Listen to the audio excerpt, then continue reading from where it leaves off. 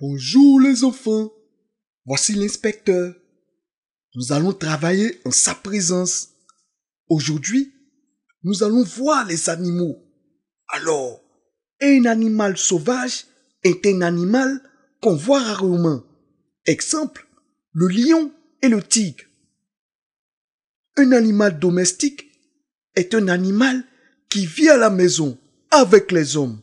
Exemple, le chat et le coq. Quelqu'un peut me donner un exemple d'animal sauvage? Oui, toi, petit David. Monsieur,